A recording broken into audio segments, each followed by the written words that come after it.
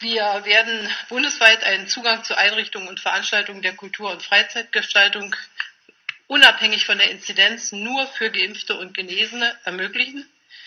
Es kann ergänzend auch ein Test noch einmal 2G Plus genannt gefordert werden. Die 2G-Regeln werden auch auf den Einzelhandel ausgeweitet. Ausgenommen sind die Geschäfte des täglichen Bedarfs.